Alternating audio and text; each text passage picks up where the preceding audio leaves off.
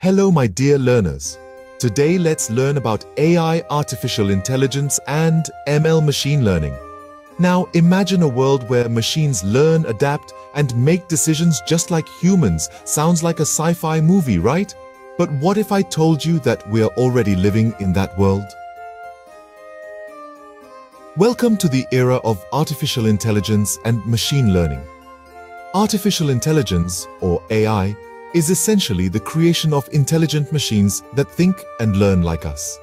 It's about designing computer systems that can perform tasks usually requiring human intelligence, such as understanding natural language, recognizing patterns, and making decisions. Now, let's introduce machine learning, or ML. It's a child of AI, if you will.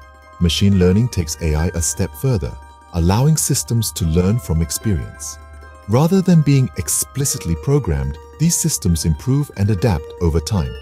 It's like having a student who never forgets a lesson and constantly improves. Now this might sound a bit abstract, so let's ground it with some real-life examples.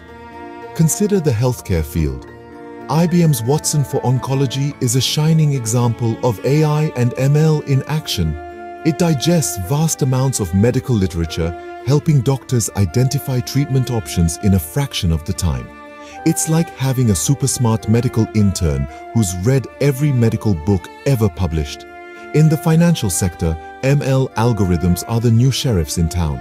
They sift through transaction patterns to detect and prevent fraudulent activities, making our banking experience safer. And how about those personalized content recommendations on Netflix? That's ML, my friends, studying your viewing habits and serving you a tailor-made entertainment platter. And let's not forget our friendly neighborhood smart assistants, Siri and Alexa.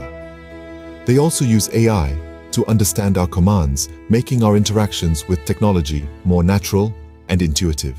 However, as Spider-Man's Uncle Ben said, with great power comes great responsibility.